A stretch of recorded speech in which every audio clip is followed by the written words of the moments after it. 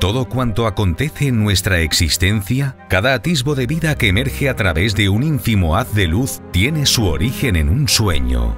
Si no temes las emociones, si alguna vez te sientes perdido, prepárate para reencontrarte a ti mismo, prepárate para escribir tu propio cuento. Llegó la hora de despertar.